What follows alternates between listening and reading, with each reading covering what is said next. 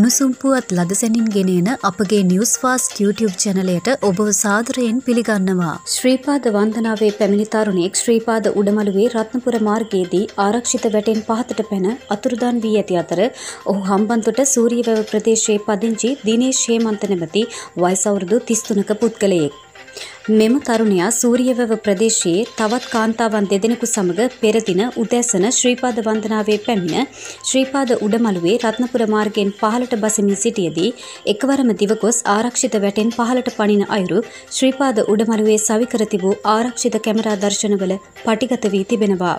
ශ්‍රීපාද උඩමළුවෙන් පහළට පැන්න තරුණයා සොයා ලක්ෂපාන යුද හමුදා කඳවුරේ බටපිරිස් විසින් අද දින උදෑසන සිට ශ්‍රීපාද උඩමළුව රක්ෂිතයේ මෙහෙයුමක් දියත් කෙරුණා.